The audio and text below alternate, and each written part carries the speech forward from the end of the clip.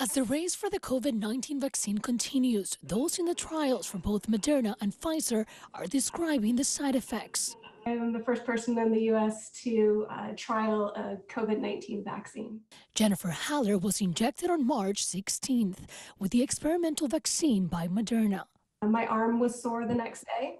Um, I had two doses of the vaccine, four weeks apart, and each time my, my arm was pretty sore the next day. In September, Lafayette resident Daniel Horowitz was injected as part of Pfizer's COVID 19 vaccine trial. The trial is double blind, so Horowitz is not sure if he received the vaccine or the placebo, but his side effects are similar to those of a flu shot. I got a little achy in my muscles, like, hmm, I just don't feel right. And it went away after that day. For side effects, Moderna points to this graph, which include fatigue, chills, headache, muscle pain, and pain at the injection site. UCSF's infectious disease specialist, Dr. Peter Chin-Hong, says these are normal vaccine symptoms. 25 to 50% of people might feel some mild side effects after the first dose. Are these vaccines safe?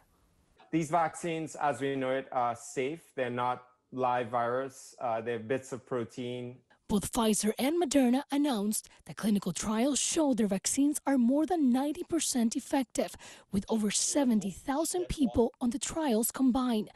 Now, as to long term side effects. But usually these occur within two months, um, and so far they haven't had any problems with either the Pfizer or, or the Moderna vaccine. In San Francisco, Luz Peña, ABC 7 News.